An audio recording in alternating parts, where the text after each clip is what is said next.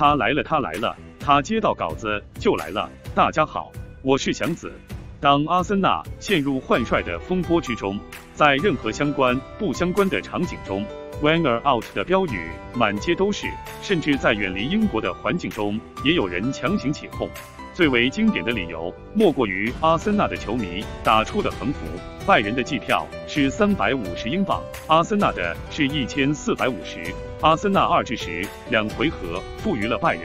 阿森纳俱乐部不是阿尔塞纳温格俱乐部，等等等等。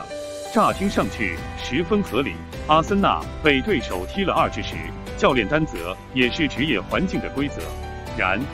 而丹泽的背后是神奇逻辑的反向推导。阿森纳在温格执教下被拜仁慕尼黑十至二横扫，温格离开的结果就能反推出非温格执教下就不会有如此惨败。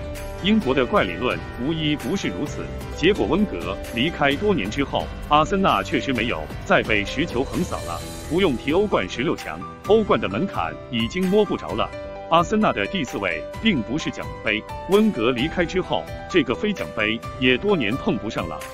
再想有什么改天换地的人物，在埃梅里与阿尔特塔的轮换之后，温格的成绩似乎成了可多年怀念的巅峰，而不是二至十的悲剧。甚至埃梅里也给那些叫着下课的人群做了一个榜样。比利亚雷亚尔此时刚刚好占据了西甲第四的位置。埃梅里正带着阿森纳的旧人科克兰愉快的生活，那些离队的传闻都是不真实的。此时的阿森纳距离前四的老梗已经不太遥远，只是变成了距离倒数前四只有四分的优势。这种对比让往日里举标语的人群已经无话可说，更无梦可做。温格离开并不能够使得阿森纳更为强大，再回归也无任何意义。